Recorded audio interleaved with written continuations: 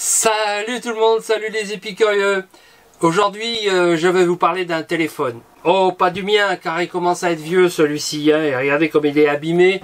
Et j'ai reçu euh, ici, euh, par Blackview, un nouveau téléphone que je vais vous présenter. C'est dans le cadre de ce partenariat que je vais vous demander de suivre ici parce que ce téléphone est absolument incroyable. Il a des qualités topissimes pour un prix très abordable. C'est donc le sujet du jour. Je vous présente ce téléphone.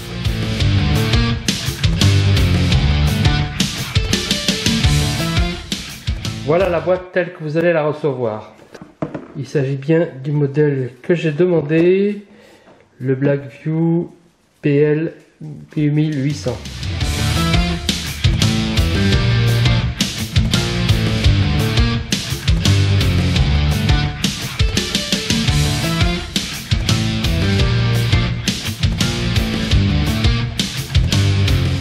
C'est le smartphone des baroudeurs parce qu'il est robuste, il est pratiquement incassable, il peut aller partout, il est rempli de plein de fonctions intéressantes que je vais vous présenter.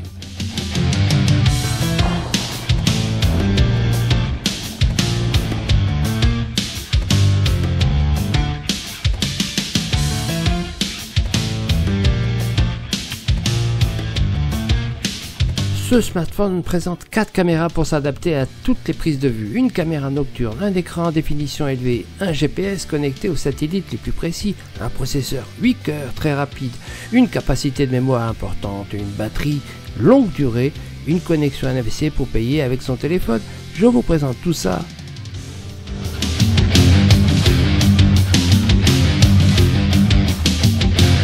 sans oublier le bilan j'aime bien, j'aime moins. Alors, je vais faire tout de suite quelque chose parce que dès que je le prends en main, j'ai senti un certain poids. Voilà combien il pèse. 375 grammes. C'est le prix à payer pour la robustesse hein, parce qu'il est anti-choc et je pense que ça fait partie des éléments qui vont lui donner du poids. Bon, déjà, si je compare à mon ancien téléphone avec l'étui, j'ai 257. Bon, c'est donc un peu plus lourd, mais peut-être que c'est le poids de la qualité.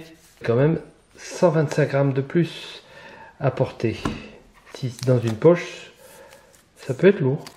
On va voir les détails ensuite. Maintenant, il est temps de passer au test que je vais faire pour vous. Alors, euh, il y a au moins sur le papier 10 bonnes raisons d'utiliser ce nouveau euh, smartphone pour moi. Depuis 2020, la 5G a pris son envol. Il est temps de vous y mettre, et c'est le cas avec ce smartphone. Ce haut débit est maintenant indispensable pour notre vie au quotidien. Parlons qualité de l'écran et des caméras. Alors comparé à celui-là, euh, on voit déjà tout de suite qu'il euh, y a euh, un écran plus grand. Mais c'est aussi la qualité des images que l'on peut obtenir grâce à ces caméras qui sont ici. Un capteur photo quadruple avec quatre caméras, vous pourrez utiliser l'une de celles-ci selon l'option automatiquement téléobjectif, grand angle, monochrome, nocturne, etc. Et selon votre choix, vous pourrez utiliser la caméra principale à 50 millions de pixels ou en frontale à 16 millions de pixels ou en nocturne différent. C'est un vaste choix.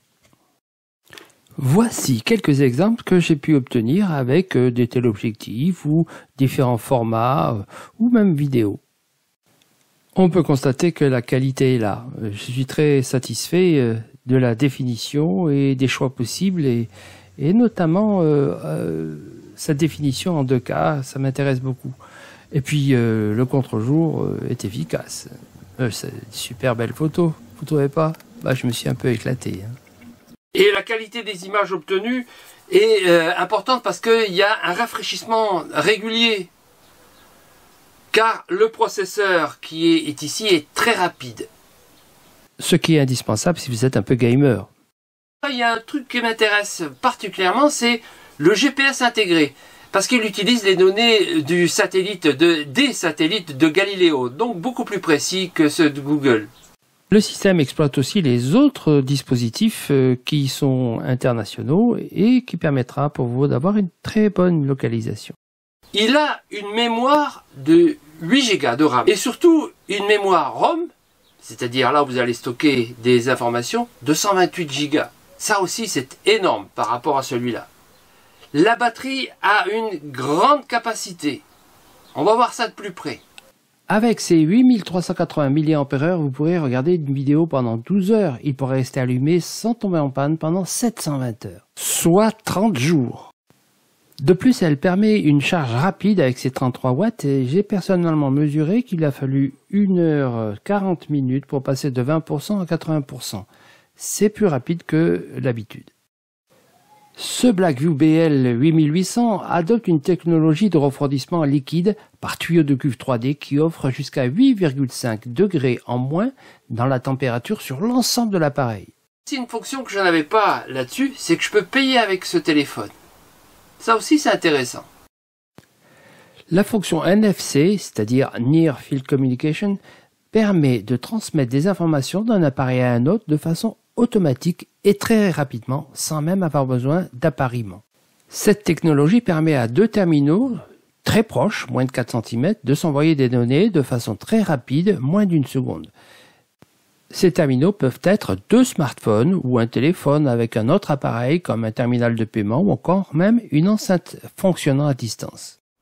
Un truc qui m'intéresse beaucoup, c'est que je peux aller sans problème sous la pluie bah, parce qu'on fait des randonnées souvent sous la pluie, mais aussi parce qu'on fait aussi de la plongée. Et donc avec ça, je peux aller sous l'eau. Oh, on verra ça.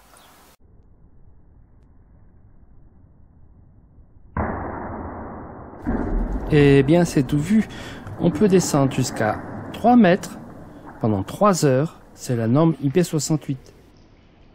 Il respecte aussi la norme IP69K, c'est-à-dire qu'il résiste à un nettoyage à haute pression, même avec de l'eau à 80 degrés, une pression de 80 à 100 bars et avec un débit de 14 à 16 litres à minute.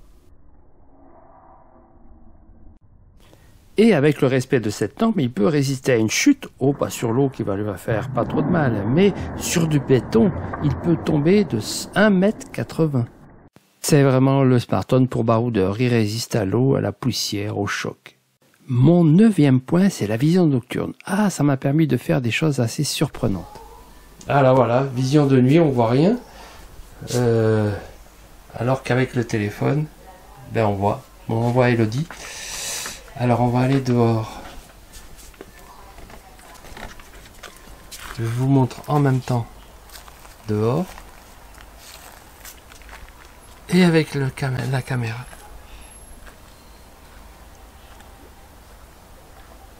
Voilà, là c'est éclairé. On voit très bien la différence. Là, c'est la vision de nuit. Une petite lune quand même, mais on voit rien. Regardez ce qu'on voit avec le smartphone. Je vois tout le paysage. Je peux faire tout le tour, je vois tout. Comme si c'était plein jour. Là, c'est les arbres. Voilà, on découvre tout. C'est un peu magique. C'est époustouflant qu'on peut bien voir. Quand il y a un peu de lumière, qu'est-ce que ça donne? Et la maison d'à côté, elle est éclairée. Je la vois bien. Et si j'allais en pleine nuit me promener pour aller voir le poulailler, voir si les poules dorment bien? Hein, c'est quand même assez fantastique de pouvoir se promener dans le noir absolu et marcher comme si c'était le plein jour. Eh ben voilà, mes cocottes vont bien, et puis celle-là, elle dort avec ses trois petits poussins. En fait, il y en a trois autres dessous. Tout va bien. C'est pas mignon. Et maintenant, je suis dans le camping-car et je surveille l'extérieur. Vous voyez, là, c'est un peu éclairé. On voit Elodie qui se promène. Et hop, là, je la vois vraiment bien. Alors, Elodie, elle est là ou elle est pas là? On voit un peu la porte et là on voit à l'extérieur de la porte par la fenêtre et même avec un éclairage faible eh bien en vision nocturne on voit des détails qu'on ne voit pas autrement le dixième point que je voulais voir avec vous est en fait un ensemble de remarques que je voulais faire sur cet appareil. En plus des nombreux réglages qu'on peut faire sur le téléphone, il y a une option gants. C'est intéressant quand on a des gants et qu'il fait froid. Le menu est très complet, il n'y a pas de souci, vous allez vous y retrouver. Des fonctions habituelles que vous avez dans tous les téléphones. Sinon, vous pouvez faire les transferts de photos par la prise d'alimentation qui est de type C et qui est à l'autre bout aussi de type C. Je vous montre ça. L'appareil est livré avec ce petit médiator qui sert à deux choses.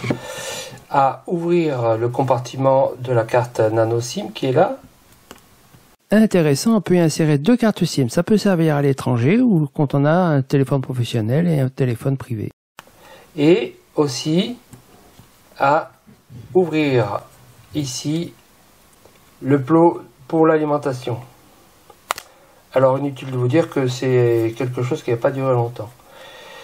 Mais c'est indispensable de l'avoir parce que si vous n'avez pas ça, ben, il vous faut des ongles assez longs et c'est pas mon cas, donc je n'arrive pas à l'ouvrir. Et ben avec un trombone, on y arrive quand même. Mais donc euh, c'est un inconvénient. Au debout, c'est type C. Donc ici, il faut brancher et donc enlever le capuchon. Une fois que c'est fait, ben, vous branchez. La charge est rapide si vous le branchez directement sur le chargeur qui est fourni avec. Et ça, il faut avoir une prise USB euh, dans votre ordinateur de type C, ce qui n'est pas courant. Sinon, vous devez utiliser un adaptateur pour avoir une prise USB, euh, ce qui n'est pas fourni ici.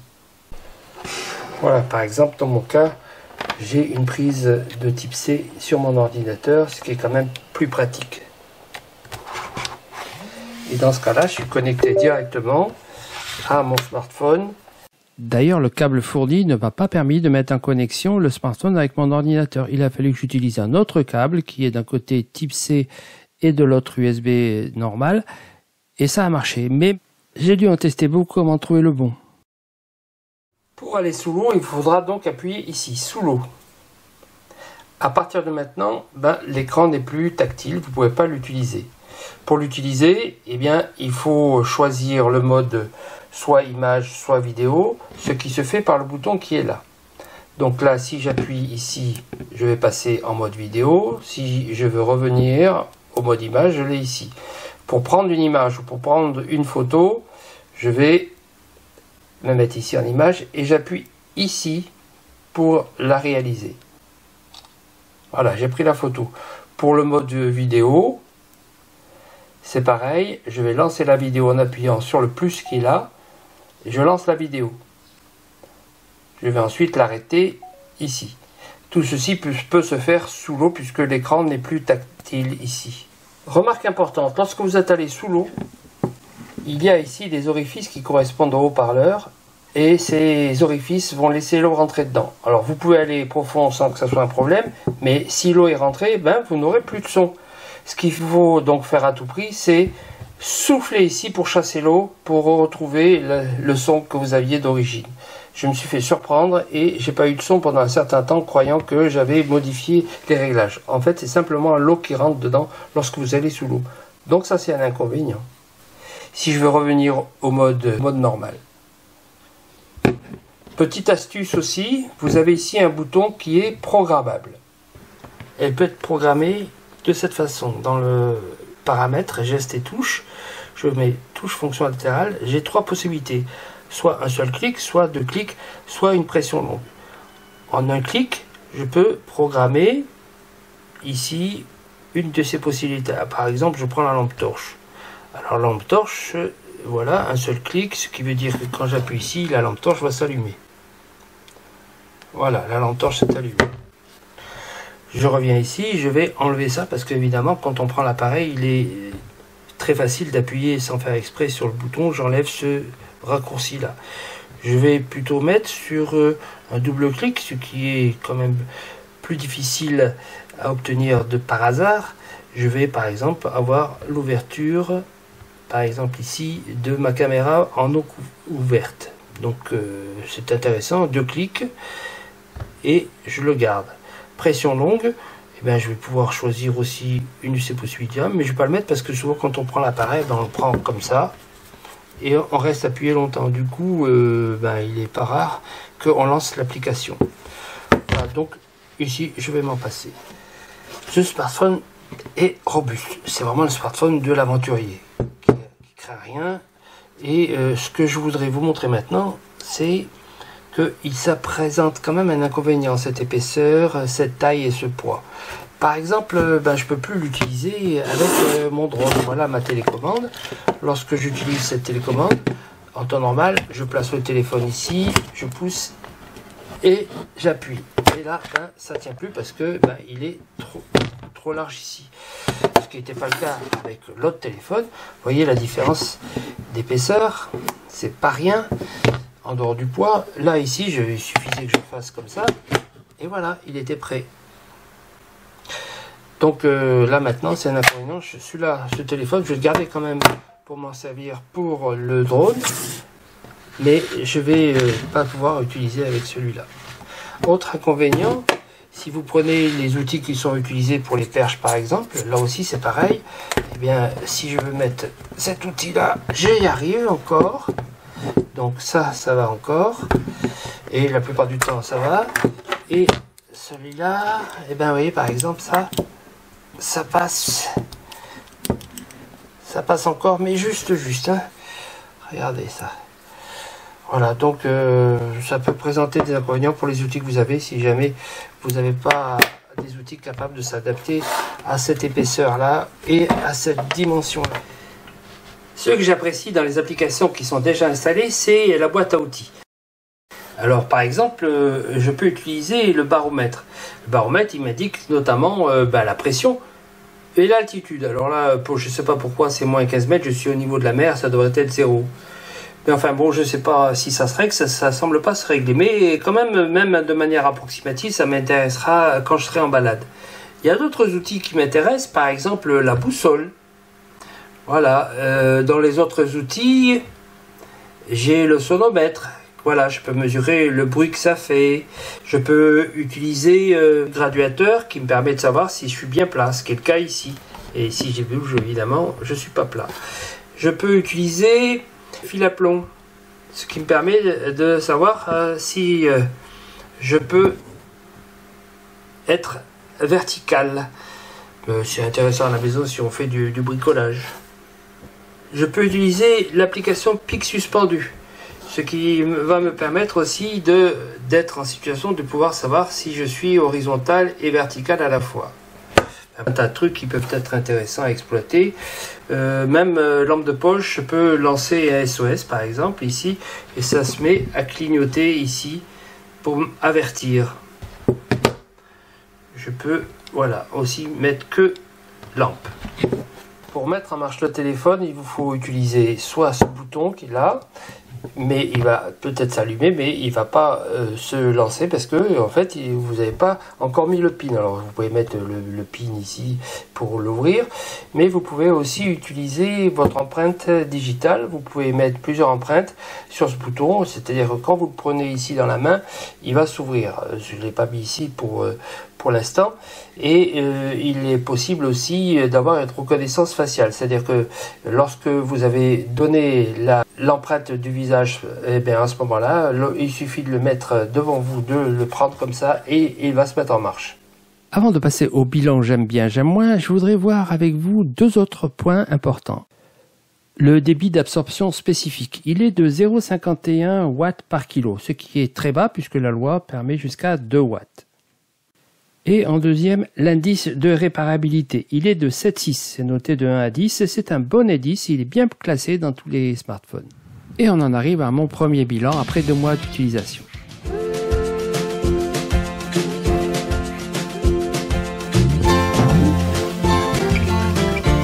La première chose que j'aime bien, c'est le côté baroudeur. C'est costaud, c'est du robuste. Et ces caméras quadruples qui permettent d'avoir une qualité optique au top. Avec sa batterie puissante, j'ai une grande autonomie. Et avec lui, on craint pas la pluie ni d'aller sous l'eau. Enfin, la vision nocturne m'a sacrément étonné, époustouflant.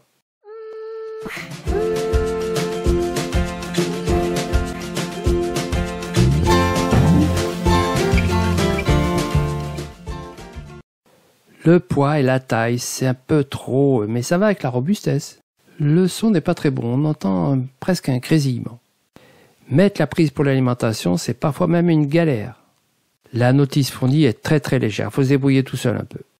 La vision nocturne est très bien, mais elle est courte, deux minutes seulement. Après, ça s'arrête, il faut relancer. oh, pour le moment lié à la puissance que ça nécessite. Et eh bien voilà, celui-ci, hop, là, bah, je vais le donner à mes petites filles, ça va leur faire des heureux, je vais changer l'étui et ça va être bon pour l'offrir.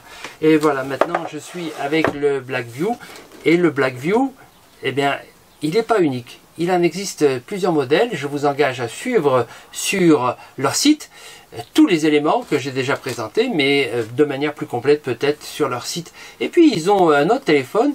Je me demande si je ne vais pas leur demander de me l'envoyer pour le tester. Il a un autre avantage par rapport à celui que vous venez de voir. Il est capable de voir les infrarouges.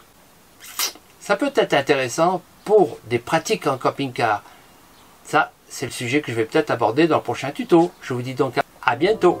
Bye bye.